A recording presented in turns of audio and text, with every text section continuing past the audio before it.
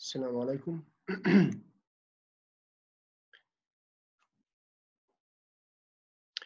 Today, inshallah, we're going to continue our uh, lessons about uh, macroeconomics.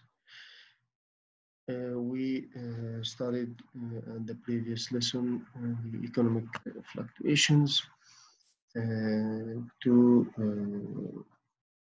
move to the next chapters about the aggregate demand, aggregate supply, and the ISLM uh, model.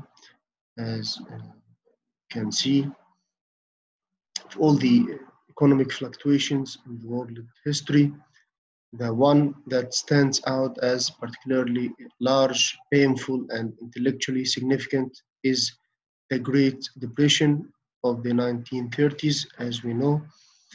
Uh, as during this time, the United States and many other countries experienced massive unemployment and greatly reduced incomes. And the worst year in this depression, in 1933, one fourth of the US labor force was unemployed, and the real GDP was 30% below its 1929 level. so this is one of the or the the uh, uh, worst or uh, economic fluctuations in the world history. It's an example. I need to know what we are talking about such kind of economic fluctuations and increasing the unemployment and decreasing the GDP and the income and so on. So in this chapter, we talk about economic fluctuations in the previous chapter in details. In this chapter, the IS curve and uh, we will learn the IS curve and its relation to the Keynesian cross, the loanable funds model, and also the LM curve and its relation to the theory of liquidity preference and how the ISLM model determines income and the interest rate in the short run when the price is fixed. so now we will see the IS curve, the, LM curve, the IS curve uh, related to the Keynesian cross and the loanable fund model, as you will see, and also the LM curve related to the liquidity preference uh, theory, and we can we will see how the ISLM model determines the income and the interest rate in the short run when the price is fixed. So in chapter 10, introduce the model of the aggregate demand and aggregate supply. If you remember in the previous chapter. In the, the long run, uh, as we said, the prices are flexible, the output determined by factors of production and technology, and the unemployment equals its natural rate. But in the short run, that we will study, prices are fixed, output determined by aggregate demand but not flexible, not determined by the factors of production, the labor and the capital and technology and so on. No, the prices are fixed and the output determined by the aggregate demand and the unemployment negatively related to the output that we will see. So this chapter develops the ISLM model, the basis of the aggregate demand curve, we focus on the short run and assume the price level is fixed. So in this case, the short run aggregate supply curve is horizontal. In chapter in next chapters 11 and 12 focus on the closed economy that we will start with chapter 11 and uh, for building the ISLM model and chapter next uh, chapter chapter 12 will focus on the applying the ISLM model and this is both together focus on the closed economy. In the 13th chapter, we will present the open economy case. So we continue our study of economic fluctuations by looking more closely at aggregate demand. Our goal is to identify the variables that shift the aggregate demand curve, causing fluctuations in national income. Also examine more fully the tools policymakers can use to influence the aggregate demand. So in this chapter, we see that government can influence aggregate demand with both monetary and physical policy. We know monetary policy related to the money supply and so on, and physical policy to the taxes and government spending. So let's know first what is the ISLM model. The two parts of the ISLM uh, model are the IS curve and the LM curve. IS stands for investment and saving. Investment and saving. And the IS curve represents what's going on in the market for goods and services. IS is for investment and saving, and the IS curve represents what's going on in the market for goods and services. Okay, the LM stands for liquidity and money. Liquidity and money.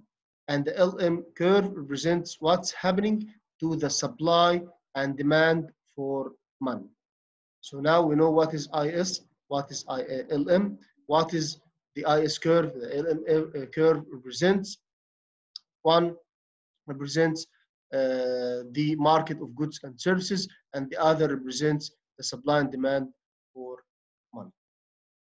So because the interest rate influences both investment and money demand, so it is the variable that links the two halves of the ISLM model.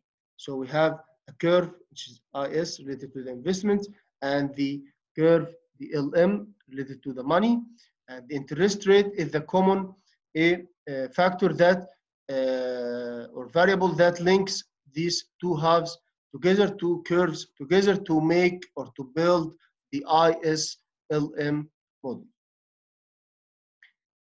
So the model shows how interactions between the goods and money markets determine the position and slope of the aggregate demand curve and therefore the level of national income in the short run.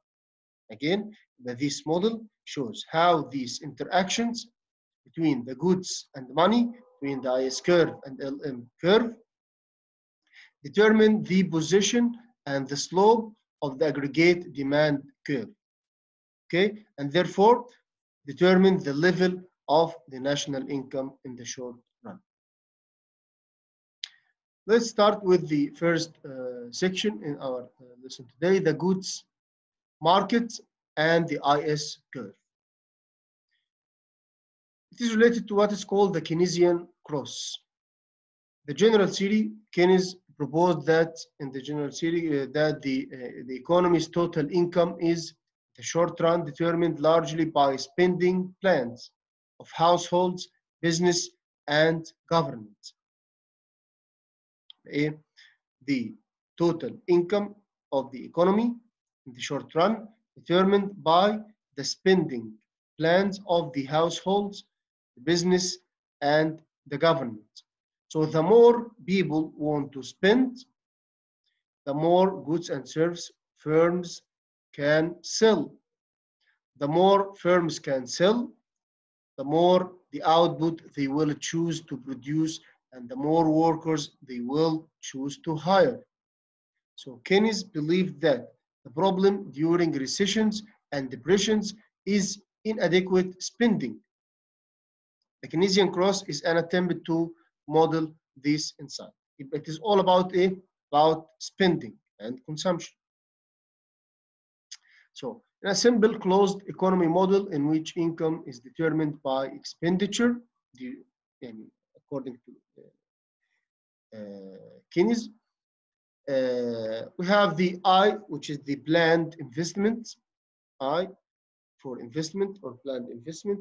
PE is a planned expenditure. Planned expenditure, as we know, it is a consumption is, uh, and uh, expenditure.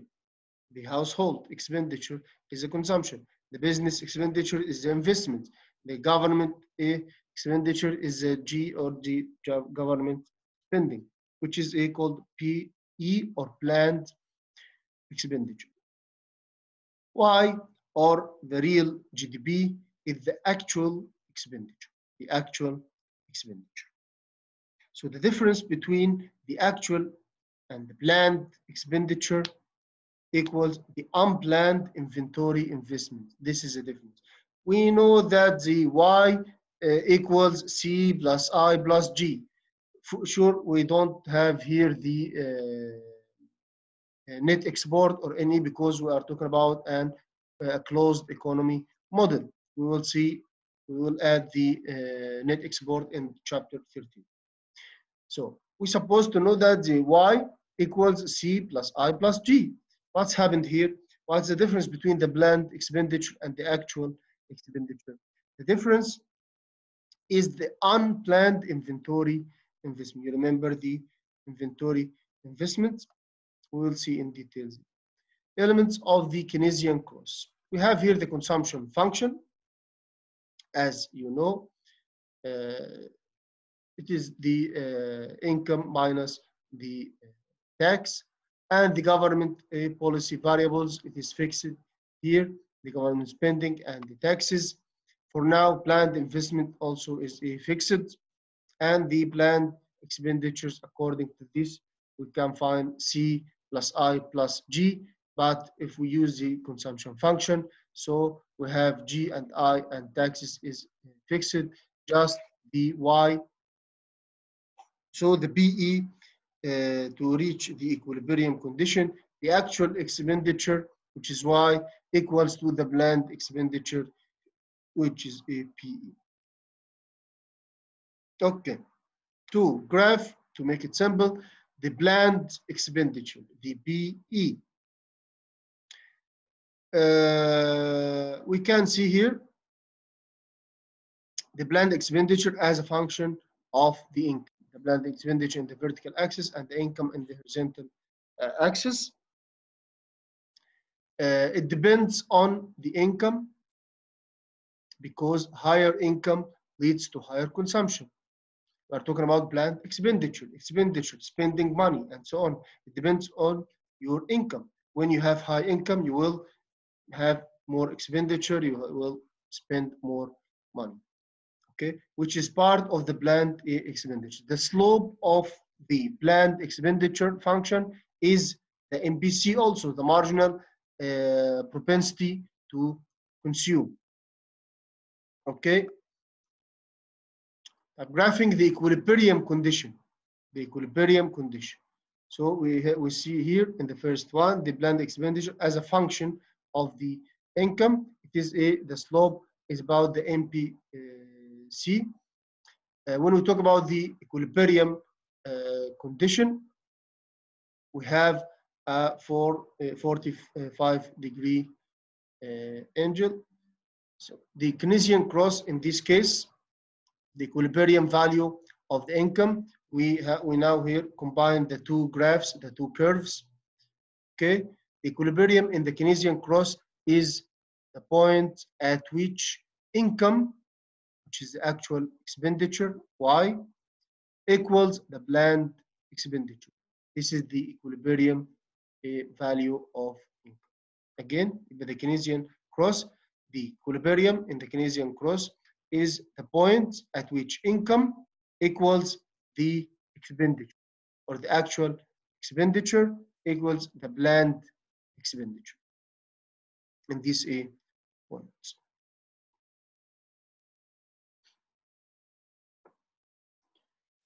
What if there is an increase in the government purchases? Mm -hmm.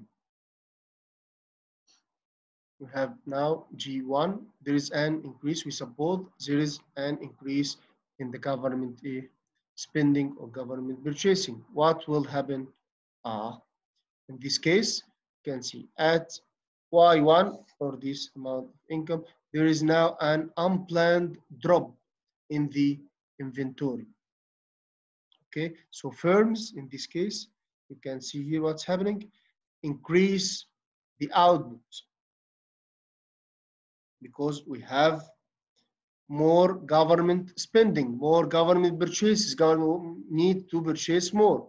So at this point, at the first point of the equilibrium, this one, Y1, there is a drop in the inventory. We don't have enough goods and so on. So the firms will increase the output. So the Y1 shifts to right to the Y2. And income rises toward a new equilibrium as you can see here, the uh, curve shifts to the above. And this is the change in the uh, output. So an increase in government purchase in the Keynesian cross uh, raises the planned expenditure. this raises the planned expenditure by that amount for any given level of income. The equilibrium moves from point A, can see this is the old equilibrium, to point B. And income rises from Y1 in the horizontal curve to Y2. You have to know that the increase in the income, the change in Y, exceeds the increase in government purchases. Thus, the fiscal policy has a multiplied effect on income. Now, the change in the government purchasing or G is one of the physical policies of the government. It's multiplied the, the income. So we know this is the equilibrium condition, y equals c plus i plus g, and this also in the changes. And because i is exogenous in this case, so the MPC multiplied by the change in y plus the change in the g, because the change in C or consumption equals the MPC or the marginal propensity of consumption change of y. To collect the terms with the delta y or change in y on the left side of the equals sign. So we can see that the change in uh, government spending equals the change in the income multiplied by 1 minus the MPC or we can know the, how to solve the uh, change, the amount of a change to how and to measure how much the change in the uh, income. It equals 1 uh, divided by the 1 minus MPC multiplied by the amount of a change of the government spending. So what is the government purchases multiplier? We, we know here, we saw how the uh, government purchases and fiscal policy can uh, affect the income. So the increase in income resulting from one dollar increase in government spending. This is the government purchases multiplier. Any increase in income resulting from an increase or one dollar increase in the government spending or G. So as we see in this model, the government purchases multiplier equals the the change, the amount of change in income divided by the uh, uh, amount of a change in government uh, spending or the government purchases multipliers will equal 1 divided by 1 minus the MPC. For example, if the MPC here is 0.8, 8%, then it will be 1 divided by 1 minus 0.8, so it will equal 5. So an increase in government spending causes income to increase five times as much. Okay. So why the multiplier is greater than 1. Initially, the increase in government spending causes an equal increase in Y, as we know. But when Y uh, or income increase, the consumption also increase. Okay.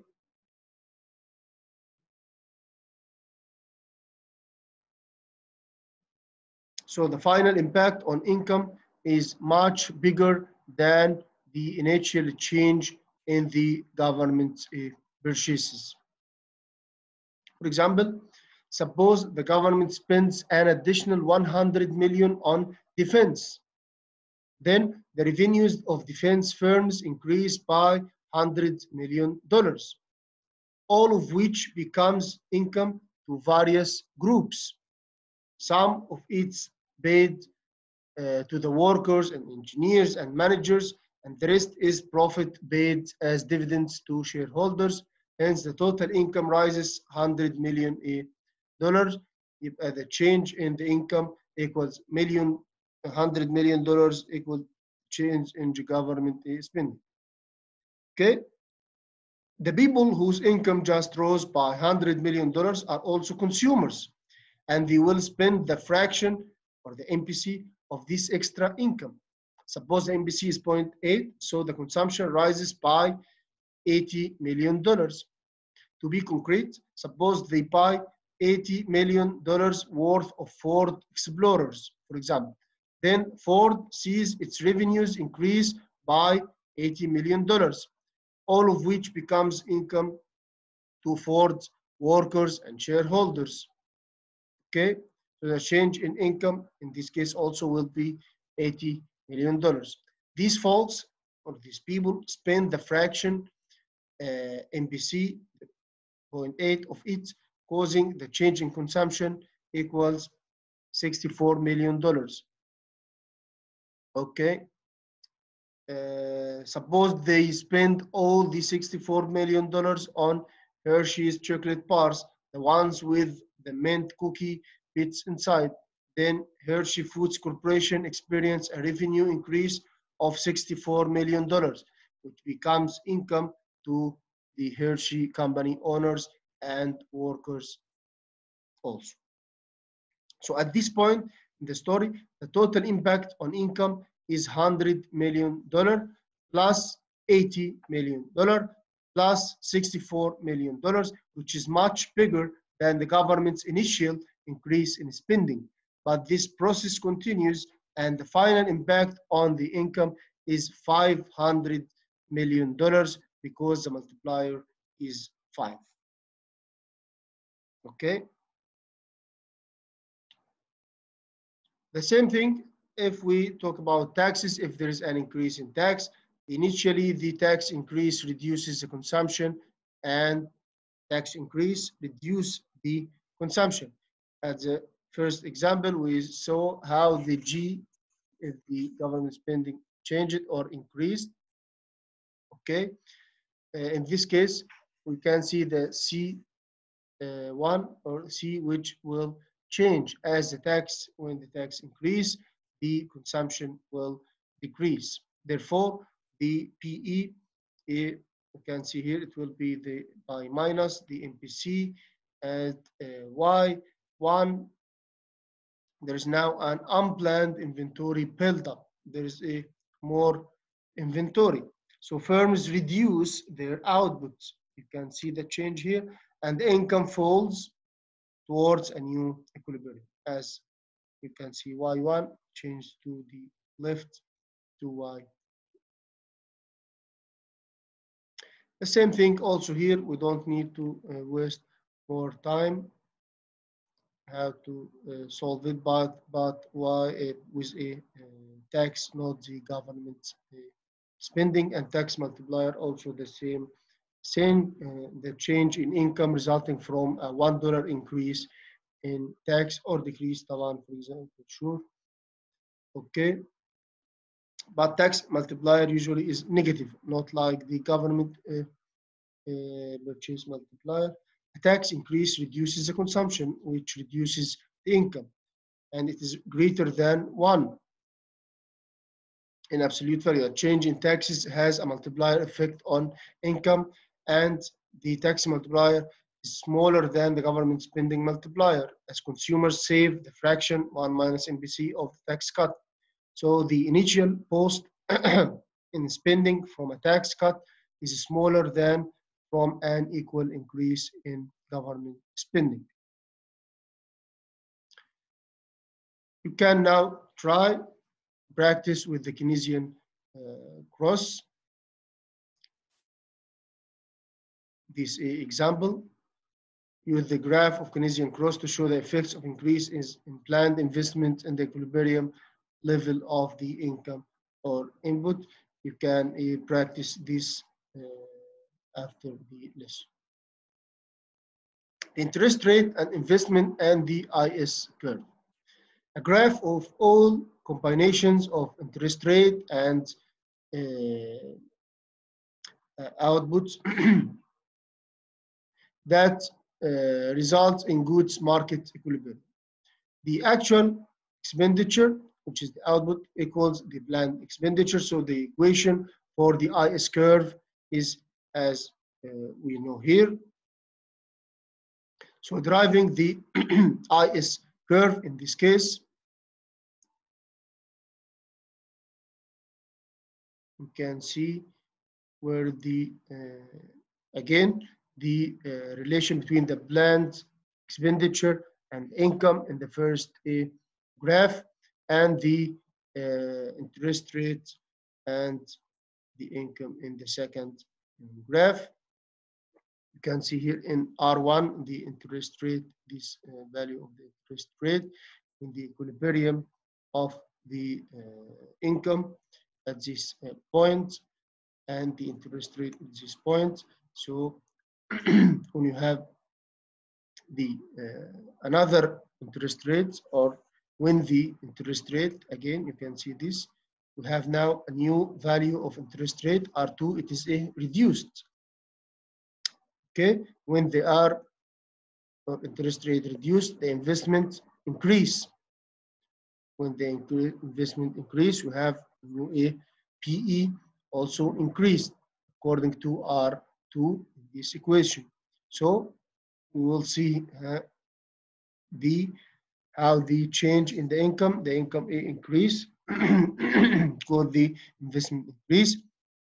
So we have a new equilibrium. So we can see here the IS curve, how it comes from.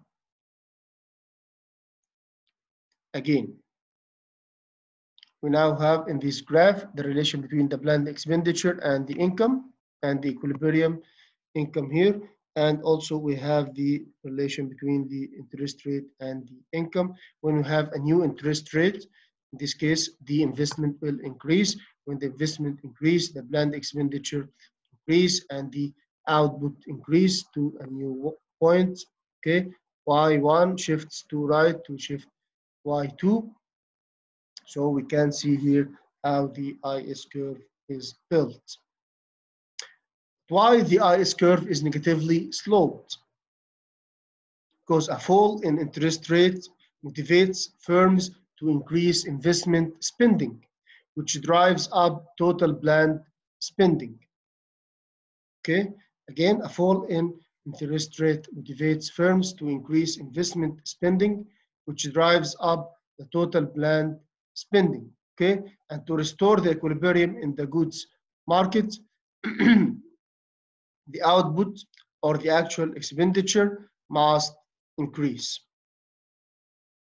So we can see here all the graphs uh, together. In this case, the uh,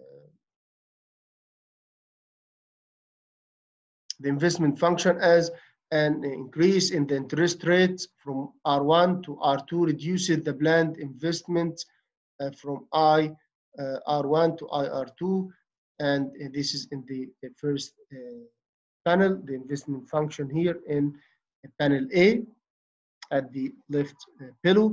You can see an increase in the interest rate. We have lower planned uh, investments in this case. If you move to the Keynesian cross in the uh, panel P, the expenditure and the uh, income or output, okay, showed the Keynesian cross, a decrease in the planned investment from IR1 to IR2 shifts the planned expenditure function downwards, the red curve, and thereby reduces the income from Y1 to Y2. Okay, and then in panel C, the IS curve shows the IS curve summarizing this relationship between the interest rate and income at the higher the interest rate, the lower the level of the income. This is the conclusion. What the IS curve uh, will tell us that the IS curve summarized these changes in the goods market equilibrium as the when the interest rates uh, increase or higher, the lower the level of the income will be. What about the fiscal policy and the IS curve? We can use the ISLM model to see how fiscal policy as government spending and taxes affect the aggregate demand and the output. Let's start by using the Keynesian cross to see how fiscal policy shifts the IS curve. Also, an increase in government purchases shifts the IS curve outwards. You can see here, uh, an increase in government uh, purchases raises the planned expenditure. For any given interest rate, the upward shifts in planned expenditure of the change in government purchases leads to an increase in income. Okay, so in panel uh, P, you can see the IS curve shifts to the right by this amount as, as at any uh, value of interest uh, rate, the government purchases increase, the planned expenditure increase, and the income uh, increase. So the IS curve shifts to the right, and the horizontal distance of the IS shifts equals. Okay. Another example was a uh, taxes. You can, uh, uh, but it's a decreasing band shifting to the left. Okay, so uh, this was the uh, the first part of this lesson of this chapter, building the IS uh, model. We saw the IS curve. Um, okay, let's move now to the next uh, part, the theory of the liquidity uh, preferences, the LM curve.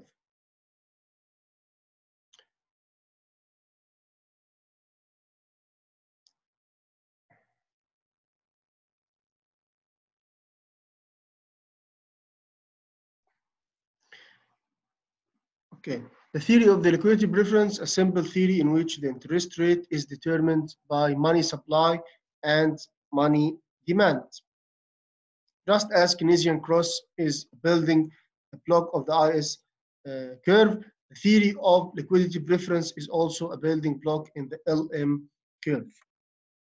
The money supply, as you know, the supply of real money balances is uh, fixed can see the relation between the interest rate and the real money uh, balances.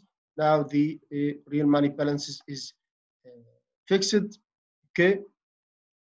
The demand for real money balances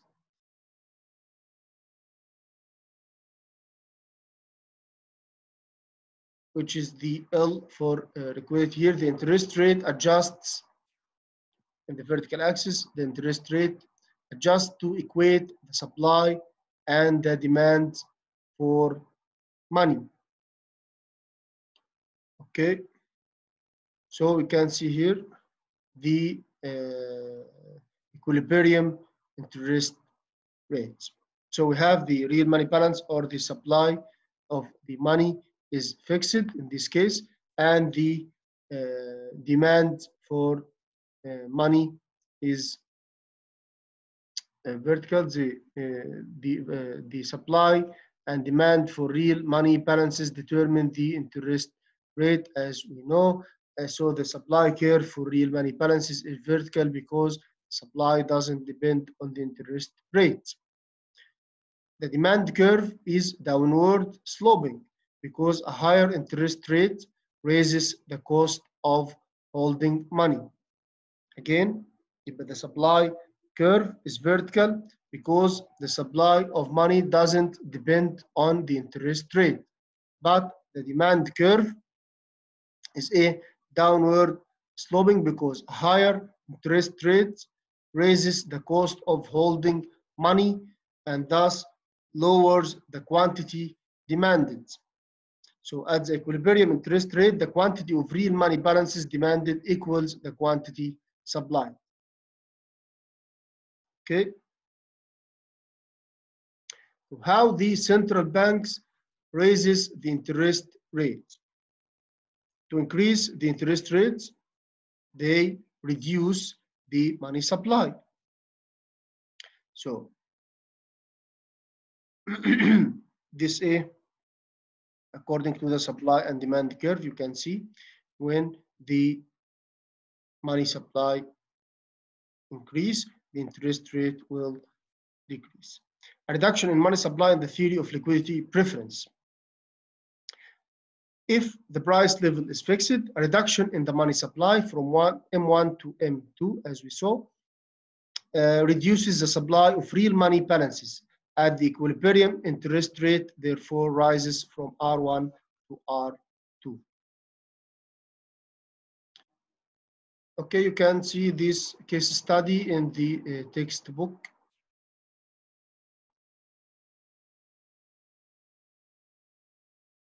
Okay, because of time. Now, income, money demand, and LM curve. Let's see.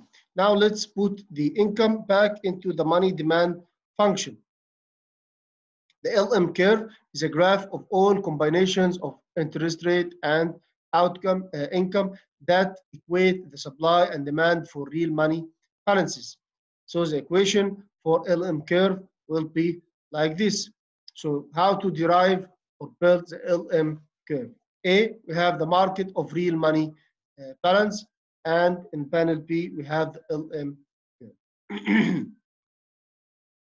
okay, now we have the supply of the money and the demand of uh, money on this interest rate, as we saw Bardo in the IS curve, the interest rate is the variable that determines the amount of income. Okay, that is what ISLM model all about. So now we have here the equilibrium interest rate in panel A, and this is also here the interest rate. When the income increases in this case, the money demand uh, increases. Now interest rates will move to another equilibrium and the LM curve will be up slope. So, so uh, in panel A, as we see, show the market for real money balances. An increase in income from Y1 to Y2 raises the demand for money and thus raises the interest rate from R1 to R2. An increase in income raises the demand for money and this raises the interest rate from R1 to R2. Okay, in panel uh, B shows the LM curve summarizing this relationship between interest rate and the income. The higher the level of income, the higher the interest rate. Why it is upward sloping? Because an increase in income raises the money demand.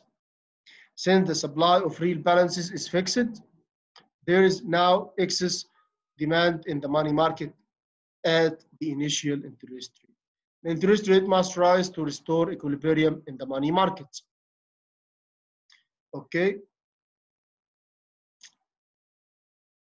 So we can see here if there is change in the money supply, will shift the LM curve as the reduction in the money supply shifts the LM curve upward as you can see in panel one shows that for any given level of income, a reduction in money supply raises the interest rate that equilibrates the money market. Therefore, the LM curve in panel B shifts up. Again, the federal or the central bank reduces the money supply. So this raises the interest rate. Then the LM curve will shift upwards. You can try this example also when increasing the uh, money. Uh, the short run equilibrium. Uh -huh. Now we have the uh, Keynesian cross at the above. Okay, represents the IS curve and the liquidity preference that represents the LM curve. This is called the short run equilibrium.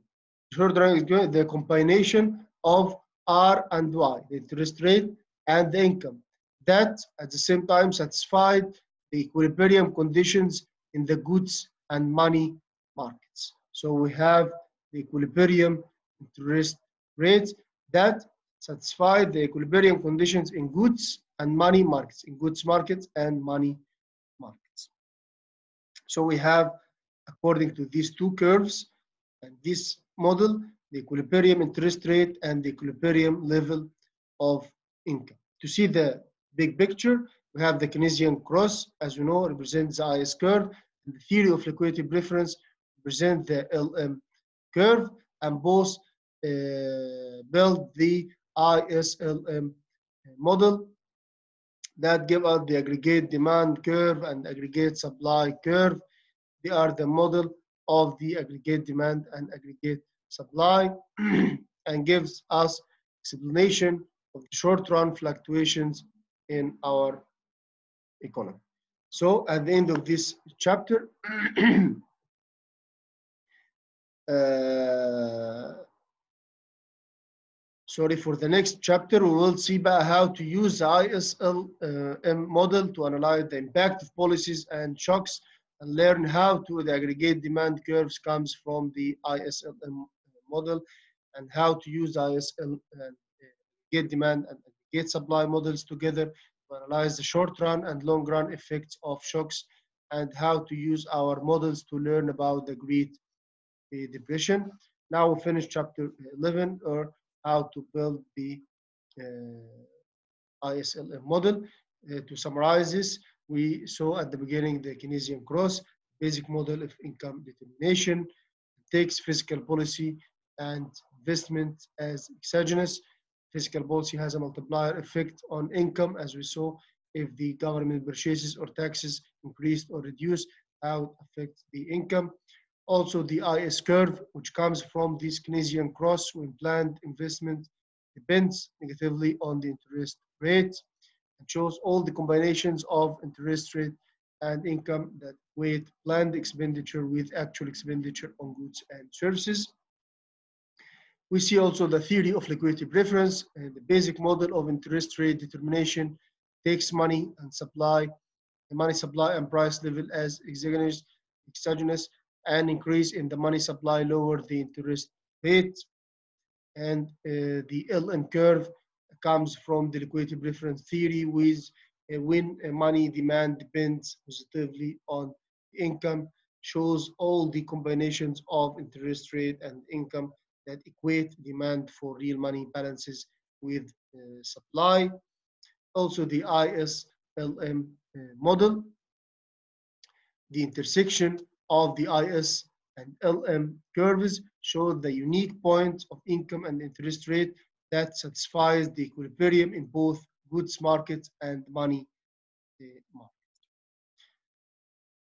Okay, now we finished this chapter. See you next uh, lesson, inshallah. Uh, goodbye and good